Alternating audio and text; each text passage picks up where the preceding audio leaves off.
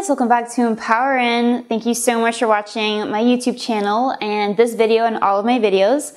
In this video, we're going over NCLEX style questions related to the disease process, acute renal failure. So this will be the final question that we're gonna have a video explanation and rationale about, but make sure you go to my website, which you'll find a link below, and you can find 28 questions in typed format.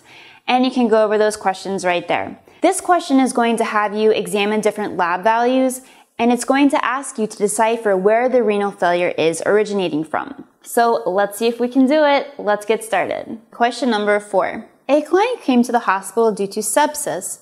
Laboratory values show a BUN of 50 milligrams per deciliter, a serum creatinine of 2 milligrams per deciliter, a urine sodium of 70 milliequivalents per liter, a urine specific gravity of 1.010, and cellular cast and debris in the urine. The nurse knows based on this laboratory results that the client is having A. Pre-renal failure, B. Intrinsic renal failure, C. Post-renal failure, or D. Chronic renal failure.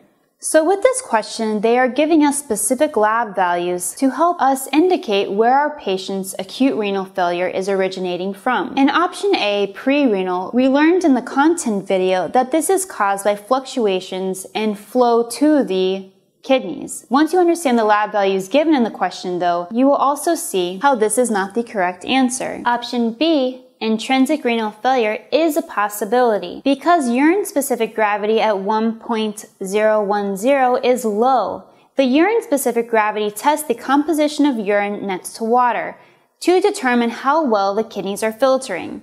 A normal specific gravity ranges from about 1.015 to about 1.030 depending on your facility. Also, the question option mentions the presence of cast and debris in the urinalysis.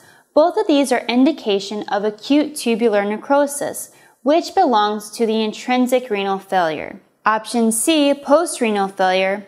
Post-renal failure is caused by something obstructing the urinary tract or ureters such as a tumor, enlarged prostate, or kidney stone. However, these lab values, as mentioned in option B, are indicating intrinsic or within the kidney failure. Option D, chronic kidney failure, even though the BUN and creatinine levels are elevated, they're not extremely high as you usually see with chronic renal failure, making the final option here B, intrinsic renal failure. Alright guys, thank you so much as usual for watching my videos and please subscribe to the channel if you would like to see more videos on pathophysiology and NCLEX related items. So anyways, we have such a pleasure creating these videos for you and we cannot wait to see you again very soon. Love you. Bye.